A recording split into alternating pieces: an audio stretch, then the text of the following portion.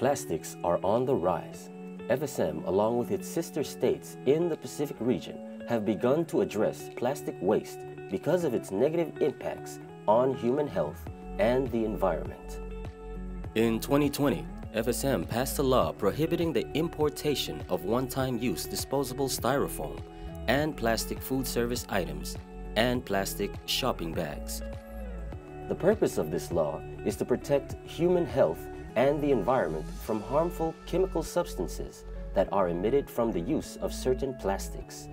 There are certain plastics that the general public is encouraged not to use as they cannot break down easily and pose a threat to the natural surroundings in the long run. Welcome.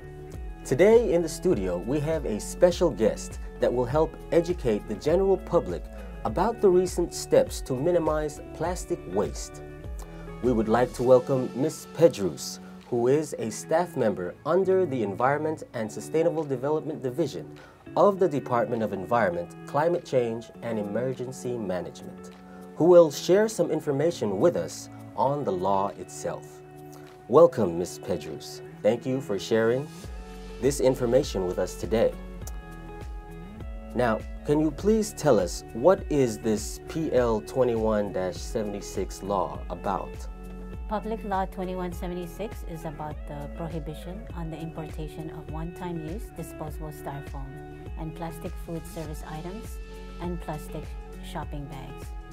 It was introduced by Senator Ferny Perman, who is one of our champion leaders on environment protection. Another champion leader is our President Panuelo, who has stated that this new ban on disposable plastic, which allows the importation of reusable and recycled plastic shows that it is possible to be environmentally conscious while still retaining sensitivity to the conveniences appreciated by citizens and the business community. Thank you. So tell us what the prohibited items are. To be more specific, the prohibited items, which can be found on pages 8 and 9 of the permanent regulation, include plastic cups, plastic straws, foam cups, foam plates, plastic food and service items such as forks, spoons, plates, etc. Of course, plastic shopping bags, styrofoam cups, plates, bowls, takeout trays, and see-through back. So why are we prohibiting these items?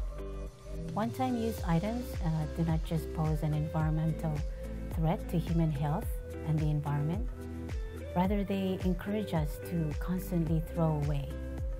And the more we throw away, the more we pile. And sometimes that can be hard to manage. Additionally, one-time use items cannot be recycled. In fact, it takes 100 years or more to decompose, and that is not good for our environment. So, what can the general public do to assist in the minimization of plastic waste? Our efforts at the state level center on promoting the three R's. The three R's stand for reduce, reuse, and recycle.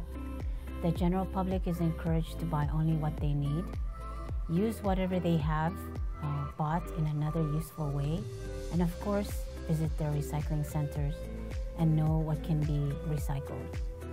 On the whole, we must use products that can be used again. Well, thank you again, Ms. Pedrus. I truly hope that the people of the FSM will step up and help to keep the environment clean by following this law for themselves and for the future generations. This message has been provided to you by the Environment and Sustainable Development Division of the Department of Environment climate change, and emergency management.